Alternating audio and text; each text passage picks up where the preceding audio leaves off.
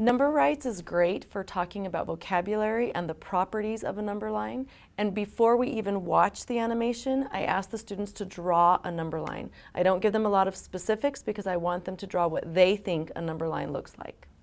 I want you, uh, first of all, to tell me what you have on your number line. It goes from 0 to 100 and has lines in between that mark 25, 50, and 75. It goes from 1 to 9 and then 1, and then negative 1 to negative 9. Line goes from 0 to 2, and it, in between it has 1 half, 1, 1 and 1 half. Now it's time to discuss the students' number lines. We're going to list all of the properties that they feel are important, and then we're going to sit back and watch the animation. What are some of the things that you think are important when you're drawing a number line? Numbers. Okay, so it has numbers. What else? What do you have at the end of your number line? I put arrows because um, the, the numbers keep on going on, but I'm only doing the numbers that are on my number line. You would want to keep the spacing equal. So those spaces would have to be the same, right? Okay. So what we're going to do now is we're going to watch a video. I want you guys just to, we're going to use that again in a minute, but let's just put that to the side. And we are going to watch a video called Number Rights. Join with me in my fight for numerical rights and stand proud on the number line.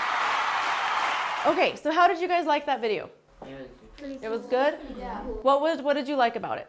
We want to watch it again, and this time I want you to pay attention to very specific things. I want you to look at the numbers that are on the number line, and I also want you to keep track of any math vocabulary that you hear in the video. As we watch the animation the second time, I'm going to pause it at various points so that we can discuss fractions, decimals, and spacing, and we'll continually ask the students to refer back to their original number line. And we are all on that number line, even if we aren't whole numbers. What kind of numbers is she advocating for? Natalie.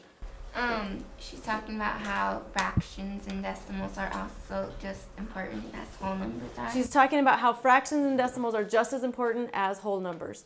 Okay, now look at your number lines. How many of you have fractions and decimals on your number lines? I'm going from 0 to 1, and I have these fractions in between. Is that spacing correct? Yeah? Yes. yes. Okay, why is it, why?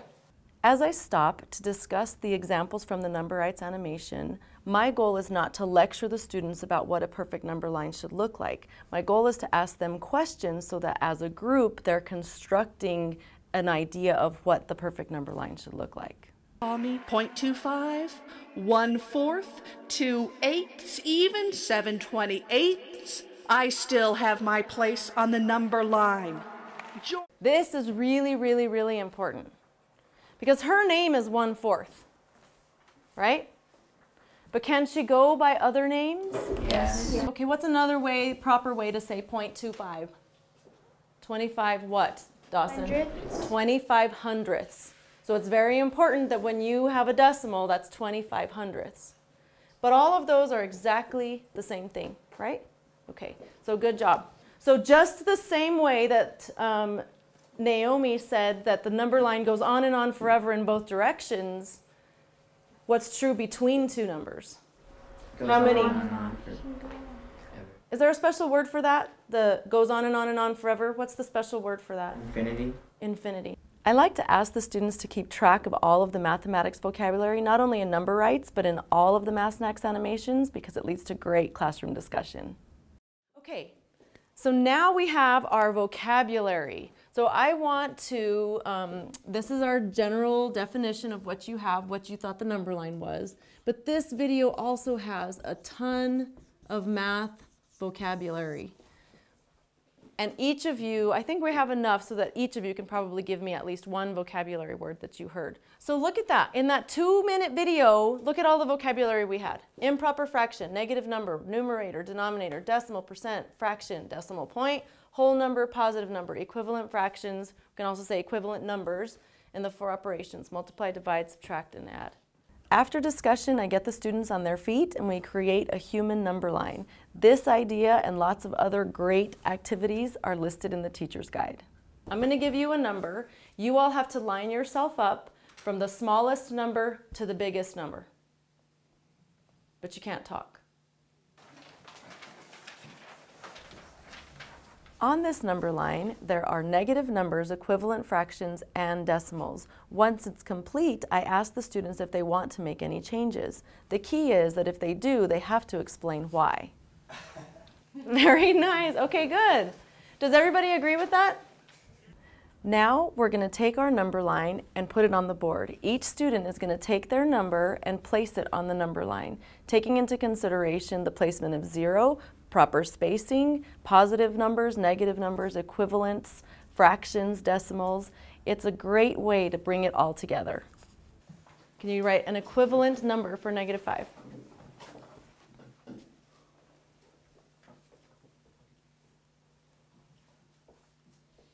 Negative 15 thirds.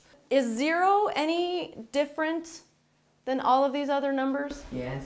What is special about 0?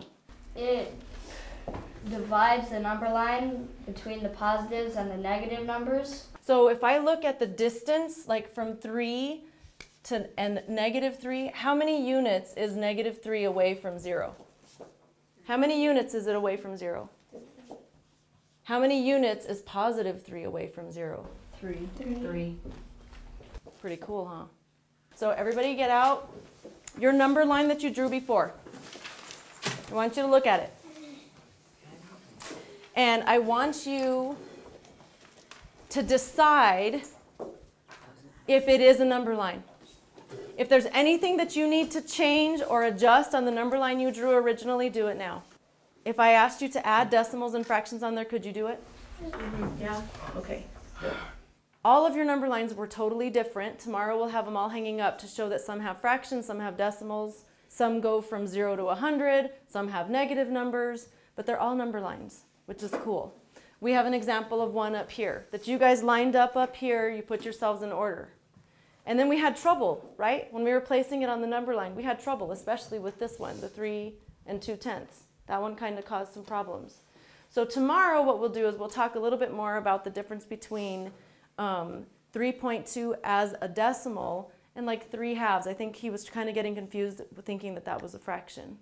Take your time with this lesson. I would recommend using the learner guide and the game Pearl Diver, which is a number line game, to really summarize what a number line is for the students. Just like all of the Math Snacks videos, the two or three minute animation lends itself perfectly to two or three days of rich discussion and great uh, student understanding, and that ultimately is the goal.